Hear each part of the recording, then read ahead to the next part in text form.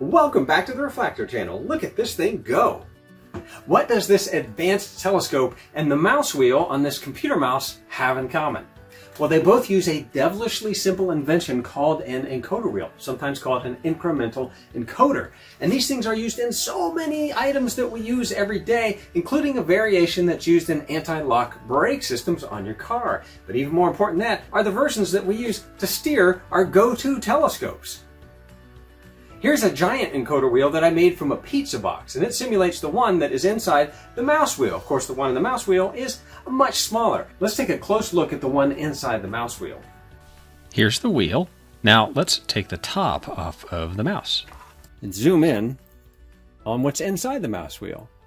Do you see all those little slots? That's a lot more than is in my demonstration encoder wheel. But this, of course, measures pretty fine movement. In order for an automatic telescope like this to know where it's pointing or where it needs to point to, it needs to measure angles. Behold the encoder wheel. Granted, this one is much larger than that you would normally see on any system out there, but this one is this large just for demonstration purposes. The key to measuring how far of an angle you've moved through is to count the number of slots that have passed by a fixed point in space. Now you might wonder, how can you do that? Well, let me demonstrate.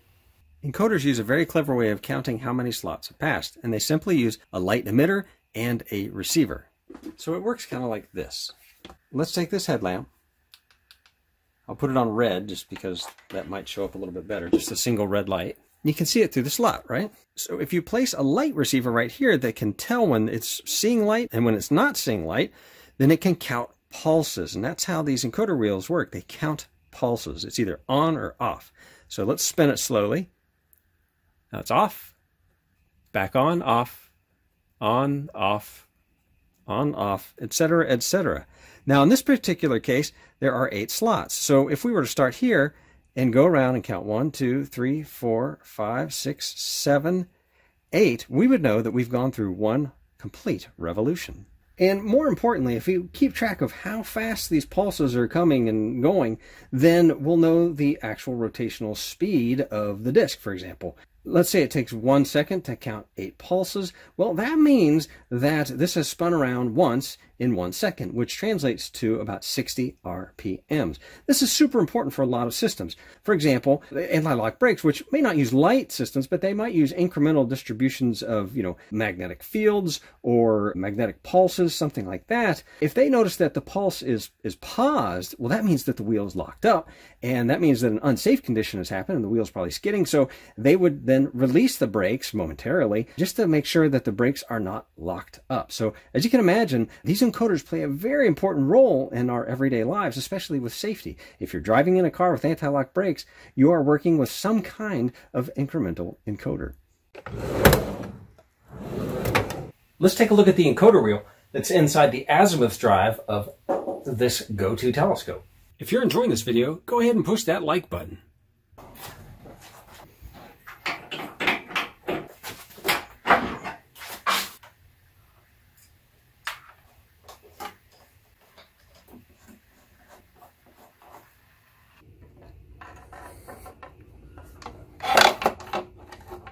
So this box on top is the actual encoder system. There's a wheel inside there.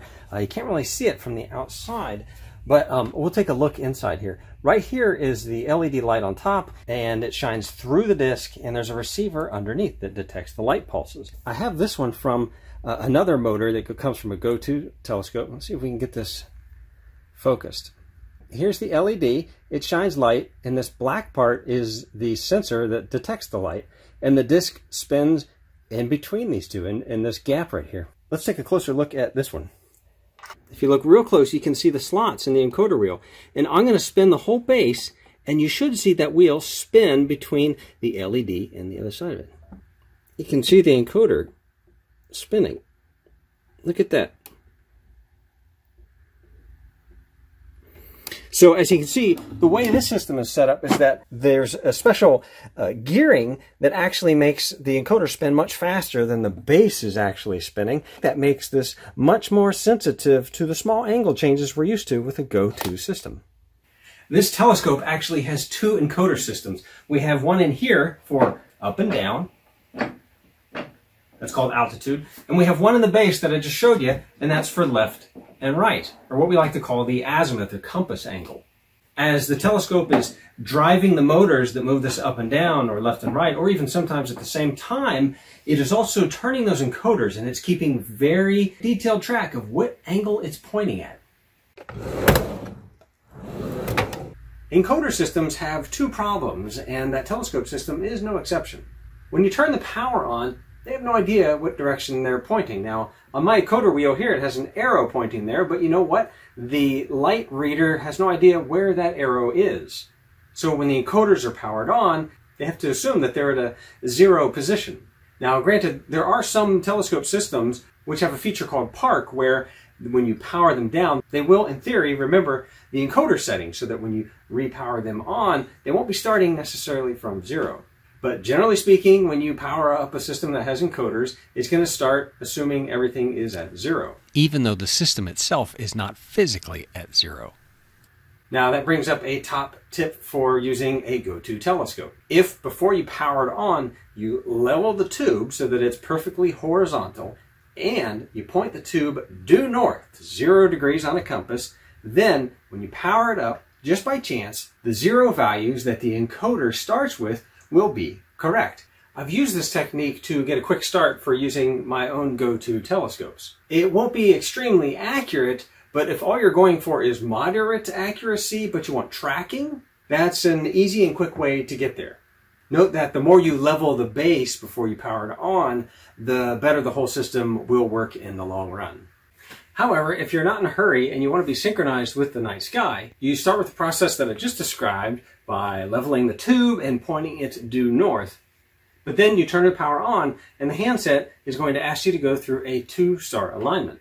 Now, by entering the time of day and your latitude and longitude and a few other parameters, the system has you manually point the telescope at some of those stars. And while you're doing this, it's keeping very detailed track of the encoder settings so that it can synchronize where the telescope is pointing with that internal star database. After doing this with two stars, it'll know exactly where the telescope is pointing. From that point on, the processor in this handset will move the telescope to whatever target you want it to point at. Now, the second problem that these encoder wheels have, and it's one you probably already thought of while you're watching this, is how do they tell what direction they're going? Because the pulses go on and off no matter what direction you spin the wheel. This is where a little bit of clever engineering is, and let's draw a picture. So one of the tricks to telling direction of spin is to add another row of slots that are inside. Uh, so let's call this outside collection of slots slot A, and we'll make an inside slots that are just slightly out of phase, and we'll call those uh, ring B. And we'll do that in one, two, three. So we have ring A on the outside and we have ring B on the inside. These slots are slightly ahead of these slots. So if you have your light source under here and you spin this, this inner slot is going to see the light first before this outer slot. It's going to be slightly ahead as far as phase goes.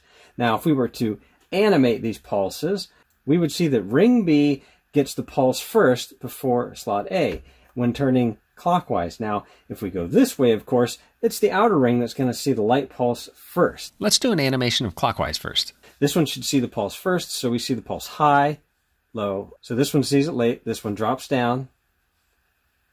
B sees it first, then A sees it, and that's how you tell the direction that it's spinning. And of course, it would be vice versa. If you're spinning counterclockwise, then the A ring would actually see the pulse first before the B. Now, uh, this is just, I'm speaking in general terms and I'm using uh, general names. I'm sure that electrical engineers have much more detailed names for all of this stuff.